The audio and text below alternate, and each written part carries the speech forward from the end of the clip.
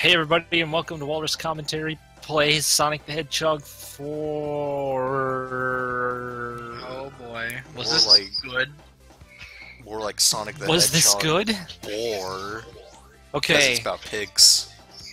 as a recovering Sonic fan myself, a still obsessive Sonic fan, uh, which is Kenny, and some idiot who doesn't know shit, Spike. I do not know the deep lore of this game. Here's I'm the just lore. gonna let you in on a secret, Spike. This game is ass. Oh, so it's not good. Yeah, I mean, do you see what's on your screen right now? Does this look like a game that could be good? Do you do you remember? I don't know if you follow or if if you saw the fan game, the Sonic 2 HD. That game looked fucking gorgeous. It looks like what this look like could look like, but does not. It's Honestly, I I don't know what's going on. Like I think they're they're they're clearly going for like a Donkey Kong 64 kind of or sorry, not 64. Donkey He's Donkey the Kong first 64 member kind of shit. of the Hedgehog crew. It does. It is approximately as good as Donkey Kong 64, which is to say, not at all. Um, they're clearly going for like a Donkey Kong Country style pre-rendered graphics look, but instead it just. It, hmm, Hmm, I think. um, I think they should have not done that yeah. because it looks. It look just looks like the graphics are compressed in a bad way. It's extremely uncomfortable. This To looks look like a. Flash game. It does. It kind of looks like just something about that the whole aesthetic. It looks like something someone would make as a flash game. Let me remind you that there's a, a Sonic someone would make. Infinite Runner. No, yeah, the Sonic Runners that was actually made by Sonic Team. Fun yeah, fact, and this it's is good. this is made by like the people that made Sonic Advance, so they know how to make a good Sonic game. They forgot at some point. Apparently, Well, They had it's been a B team while. Imagine being the B team of Dimps. Like, Jesus fucking- Christ, how horrifying! Doesn't Dimps their A team like make like the. Capcom fighters? what? Wait, what? Let me you don't check. know about that?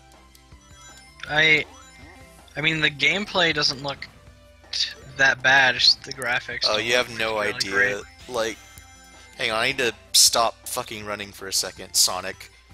Okay, I want you to observe something real quick. Remember how the Let's- old games had like realistic physics? Well, Oh, momentum, uh-oh. anyways. Check check this out.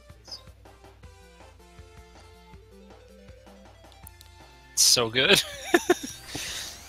Also, rolling has no momentum. Also, this. Hmm. Oh yes. Mhm. I think that's an issue with the graphics, to be honest. No, it's just that they have a very bad physics engine. Yeah. Also, I can't really show it in the video, obvious, like too obviously, but there's no momentum to anything you do. Like, yeah. Well, what I mean is like the graphics make it look twice as bad. Oh Yeah. yeah. I think if it had nice fancy graphics, it would be, and a soundtrack that didn't. It hmm, you can't you can't hear it right now, Spike. But the the soundtrack for this, I'm sure you've heard little bits of it. Mm, yeah. It's it's notorious for trying like a Genesis sound font, but instead it just. Oh, I don't even know how to explain it. it's It's like cats. it's like it's like baby's first Casio keyboard, but yeah. like using all the preset MIDI sounds. It's really bad. Fantastic. But like Yeah. the worst part of this game, besides everything, is that like Sonic starts running by like building up momentum, like the classic games, but he stops immediately. Oh yeah, Oh. Hmm. it's really disorienting when it happens. So yeah, you're actually right. Dimps has done like the ports of all of the like of a lot of games, as well as they did Street Fighter 4. They worked on Street Fighter 4. They worked on Street Fighter 4 3D. Uh, Street Fighter Cross Tekken. So I did not know that Dimps did this did that stuff. Yeah. They also worked on get this classic PS Vita game, Freedom Wars. Is that game Oh. any good? It looks incredible. It sounds incredible. Everybody, okay, I I have this on, on a really good recommendation for Oni. I've seen gameplay of it. The concept is absolutely flawless. Yeah. Go play if you own a Vita. If you're one of the two people on the planet that owns a Vita, go buy Freedom Wars. It is. It Not is only like the two people watch, that like play Vita, like the one person that watches this. So oh, Oni, Yeah. go go buy Freedom Wars again. Yeah, Basically. you know Oni's watching this video. Hi Oni. Hi Oni. Hey. You know he also just Oni. said. You know he also just said hi Mach when I said that. Hi me. Like at the at the video. You know he did it. you motherfucker. Poor sad Oni. I hope you fucking die, Oni. Let me show you how bad the special stages are in this game. Uh, the special stages in episode two are the Sonic Two special stages, Yeah. and they're actually good. I mean, which you know they're fine. But in this, it's like they took the special stages from one, from the original Sonic One, and just they they did all of the things wrong with it. So Mhm. instead of maneuvering Sonic properly, you rotate the the board, and it And it's you're so supposed to, like, get rings. Doesn't this look fun? Oh. Oh. you know the most the most the most what do you call it it's it's really disorienting like Wow. i'm getting a headache watching this This is the only special stage I'm doing. please thank you But don't you want the best ending? Oh, you're right. There's the only difference is that he goes supersonic at the end. Can you, if you get all the uh, stuff, can you go supersonic in the middle of a stage? Yeah, this is the first game to do that in a while. uh Oh, yeah good. the first game i think since what sonic 3 and knuckles Yeah. that's fucking sad man Then they started doing it in the 3D games. It's it wasn't that great though. it doesn't feel that great in generations it was a nice um gesture dude dimps worked on dragon ball xenoverse Oh yeah, they did. I mean that game's not great either, but it's serviceable. Mm, they're working on Street Fighter V, and Street Fighter V is extremely good. Yeah.